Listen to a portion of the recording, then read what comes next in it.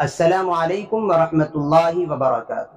سہارنپور سے M P ہیں عمران مسعود اور ان کا ایک بھائی ہے نعمان مسعود۔ ان کا ایک بیان سوشل میڈیا پر بہت وائرل ہو رہا ہے۔ نعمان مسعود نے کاوڑیوں کاوڑیاں کی گاڑی پر بیٹھ کر ان کے ساتھ چلتے ہوئے ایک بیان دیا ہے اور یوں کہا ہے کہ ہندو جس کو شیو لنگ کہتے ہیں، مسلمان اسی کو حجر اسود کہتے ہیں۔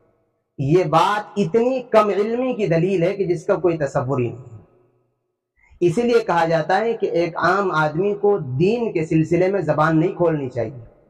دین کے کام کرنے والے اہل علم اور علماء ہیں، وہ صحیح اور تحقیقی بات بتائیں گے۔ جب ایک عام آدمی اپنی ریکھا سے باہر ہو جاتا ہے، اپنی اپنی حدود سے باہر ہو جاتا ہے، تو اتنی بیتوکی باتیں وہ کرتا ہے جن کا کوئی ثبوت نہیں ہے۔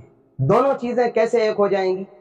دونوں چیزوں میں زمین اور آسمان کا زمین اور آسمان کا فرق ہے۔ ایک بنیادی اور بیسک فرق تو یہ ہے کہ حجر اسود پوری دنیا میں صرف ایک پتھر ہے، دوسرا اس کا کوئی ثانی نہیں۔ اور وہ پتھر وہی ہے جو خانہ کعبہ سے متصل ہے، خانہ کعبہ سے منسلک ہے، لگا ہوا ہے۔ اس کے علاوہ دوسرا حجر اسود نام کا کوئی پتھر دنیا میں نہیں پایا جاتا ہے۔ جبکہ ہندو بھائیوں کے عقیدے کے مطابق شیو لنگ ایک سے زیادہ ان کے یہاں پائے جاتے ہیں۔ پہلا فرق جو بیسک فرق ہے، بنیادی فرق ہے، ایک عام مومن اور مسلمان کو بھی سمجھ میں آ جانا چاہیے یہ ہے۔ اور دوسرا فرق یہ ہے کہ اہل ایمان اور مسلمانوں کے نزدیک حجر اسود صرف ایک پتھر ہے، اس سے زیادہ اس کی کوئی حیثیت نہیں ہے۔ اہل ایمان اور مسلمان مومنین کے نزدیک حجر اسود خدا نہیں ہے۔ صرف ایک پتھر ہے۔ اور اس کے اس کے بالمقابل سمجھ میں آتا ہے، دیکھنے میں آتا ہے کہ شیولنگ ہندو بھائیوں کے یہاں، اہل وطن کے یہاں وہ ان کی عبادت کی معبودیت کا درجہ رکھنے والی چیز ہے۔ اور تیسرا فرق یہ ہے کہ مسلمان حجر اسود کی پوجا اور عبادت نہیں کرتے، بلکہ اس کی پوجا اور عبادت کو شرک سمجھتے ہیں۔ اور غیر ایمان والے وہ شیو لنگ کی عبادت کرتے ہیں، اس کی پوجا کرتے ہیں۔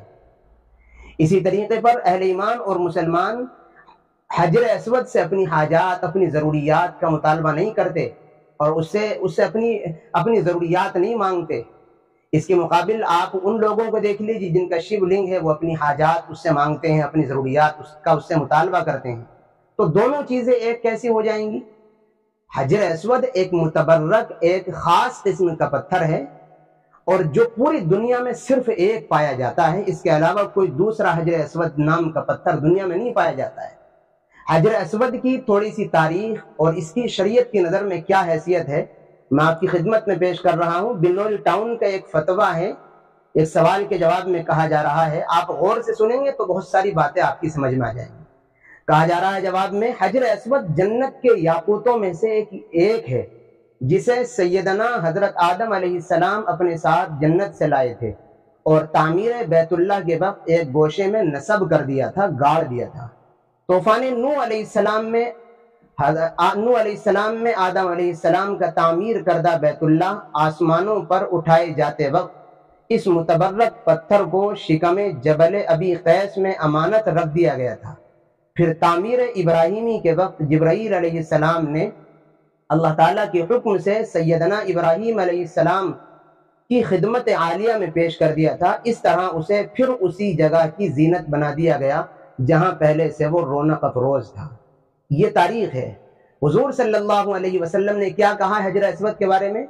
اس حجر اسود کو اپنے عمل عمل خیر کا گواہ بناؤ، کیونکہ قیامت کے دن یہ سفارشی بن کر اللہ کے دربار میں اپنے استعلام کرنے والوں کے لیے سفارش کرے گا، اس کی ایک زبان اور دو ہونٹ ہوں گے۔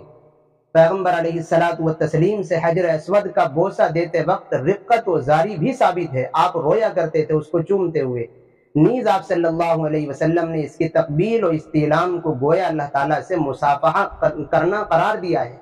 آپ صلی اللہ علیہ وسلم کا ارشاد ہے، جو شخص حجر اسود کو ہاتھ لگائے، گویا کہ وہ اللہ تعالیٰ سے مسافہ کر رہا ہے۔ حجر اسود کی یہ شان ہے تو یہ شیولنگ کے برابر کیسے ہو جائے گا؟ طواف کی ابتدا حجر اسود کے استعلام سے ہوتی ہے، یہ جنت کا پتھر ہے، جس میں اللہ تعالیٰ نے انسانوں کے گناہ جذب کرنے کی عجیب تاثیر رکھی ہے۔ چنانچہ نبی اکرم صلی اللہ علیہ وسلم نے ارشاد فرمایا، جس وقت حجر اسود جنت سے اترا تو وہ دودھ سے زیادہ سفید تھا۔ پھر آدمیوں کے گناہوں گناہوں نے اسے سیاہ کر دیا۔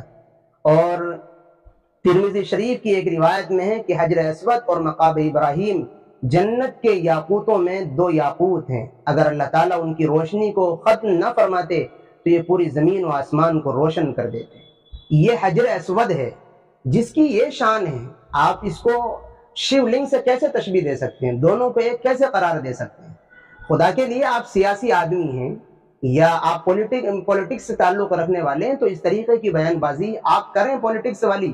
لیکن دینی معاملات میں دخل اندازی اگر آپ کریں گے تو پھر علماء آپ کو چھوڑیں گے نہیں، آپ کی گرفت کی جائے گی اور آپ ٹھوکر کھائیں گے۔ یہ گفتگو اور حجر اسود کی یہ شان میں نے اپنے عام ناظرین کے لیے پیش کی ہے تاکہ وہ اس طریقے کی بیان بازی کا شکار ہو کر غلط فہمی اپنے دل میں نہ پان لے حجر اسود اور زمین آسمان میں بہت فرق ہے۔ ہمارے اکابرین کا حجر اسود کے تعلق سے یہ عقیدہ ہے کہ وہ صرف ایک پتھر ہے۔ اور اس کو کبھی معبود نہیں سمجھا گیا۔ اس کے استعلام اور بوسہ لینے کو بھی اس لیے ضروری سمجھا جاتا ہے، اس لیے کہ اللہ تعالیٰ نے اس کام کے کرنے کا حکم دیا ہے اور ان سب کے محبوب نے کیا ہے۔